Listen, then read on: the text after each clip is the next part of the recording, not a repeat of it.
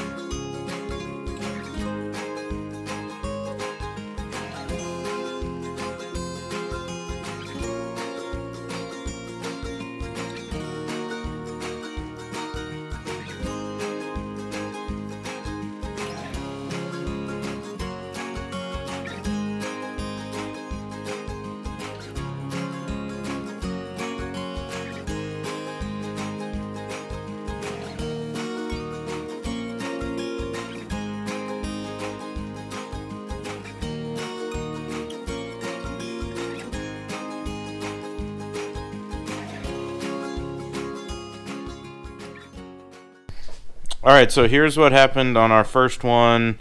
Uh, so we'll chalk it up to a test. Uh, the very top part was at 20%, way too much. Uh, burning through all of the paint and actually burning the canvas. So adjusted it down and kept adjusting it down until we got to about 7% on most of this. And it's pretty neat. It goes through the blue in the right spots and gets to the white uh, at the top where there's a big burst of sunlight under the water.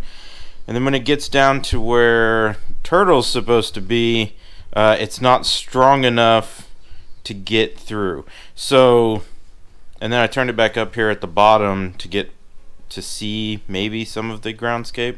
So essentially, what I think we're running into is that we don't have enough layers on this to be able to use a high enough percentage to get any kind of uh, gradients in the burn. So what we're going to do is prep another one. I'm going to do three coats of white, three coats of blue, and then a black coat over the top. And hopefully we can run it at maybe 15% somewhere in there and not burn clear through to the canvas and get a better overall dynamic picture. So let's get a new one in and let's see what it does. All right, here are our settings. We're going with 300 millimeters a second for the raster. There's our picture flipped backwards and 15% on the power.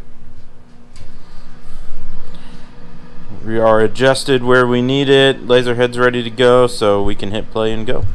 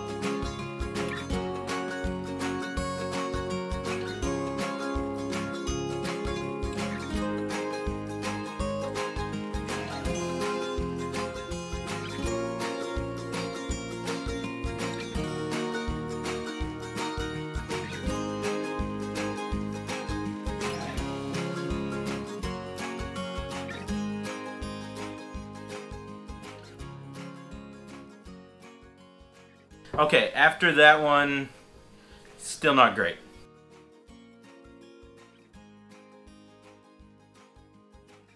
That's good. So, top half still looks bad. The bottom half actually looks way better. Yeah. Uh, still not perfect, but really close. The bottom, where the sand is and the ripples of the light, actually look Pretty, pretty cool. pretty darn good. Yeah. Um, so it wasn't just the layers for sure. It's how K40 Whisperer uh, rasters grayscale. Um, and I did find the setting, and this is uh, in K40 Whisperer for raster settings. You can adjust the slopes on the white and the black.